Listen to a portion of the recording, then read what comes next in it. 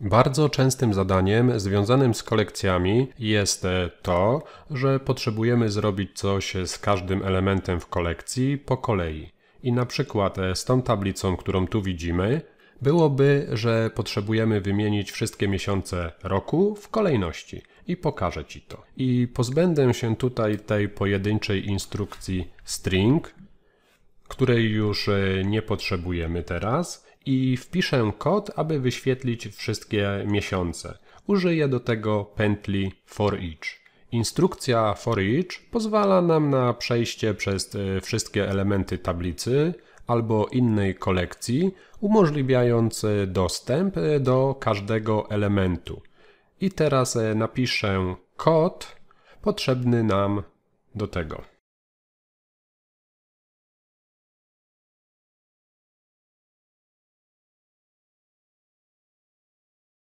Pętla for each to jest e, najprostszy sposób na przeglądanie każdego elementu w kolekcji.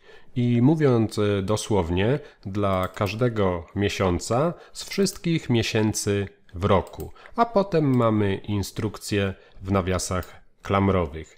I co się stanie? No stanie się tak, e, że kod weźmie kolejno każdy element z tablicy i ustawi tę zmienną miesiąc na równą temu elementowi, a następnie wykona wszystko, co jest e, tutaj w pętli. I to jest e, dowolna instrukcja lub blok instrukcji. W naszym przypadku pętla zostanie wykonana raz z miesiącem równym pierwszemu elementowi w tablicy, czyli styczeń, Następnie wykona się z miesiącem równym drugiemu elementowi tablicy luty. Następnie wykona się z kolejnym miesiącem w tablicy, trzecim elementem tablicy, marzec i tak dalej, aż przejdzie przez e, wszystko, co jest w tablicy.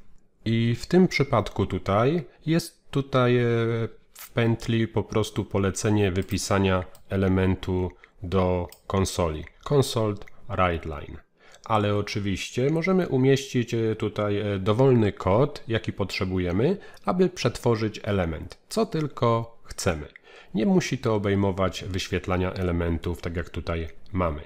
Teraz możemy skompilować ten kod i uruchomić go.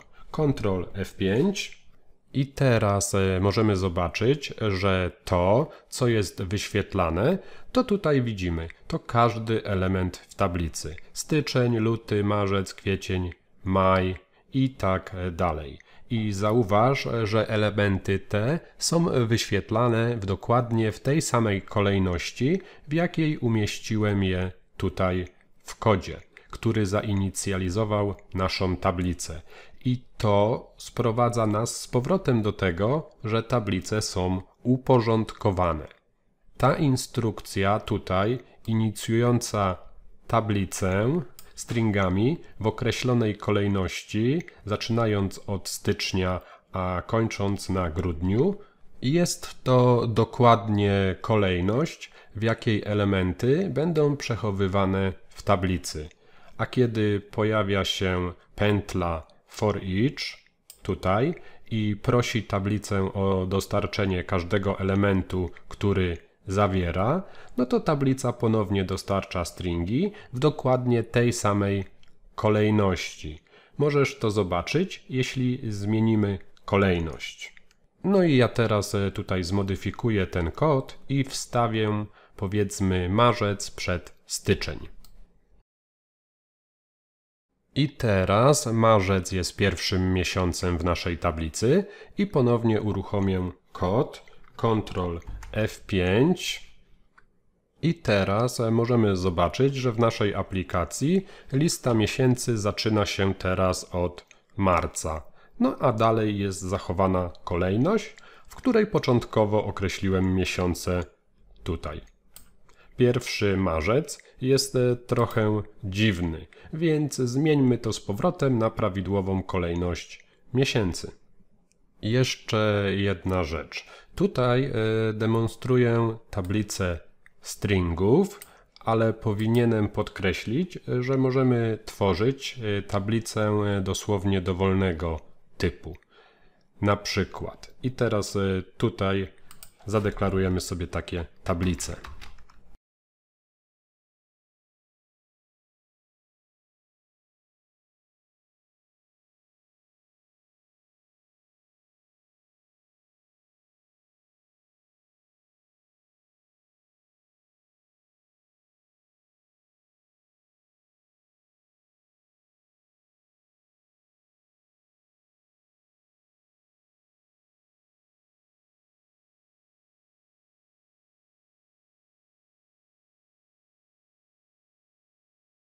I ten kod tutaj deklaruje tablicę intów.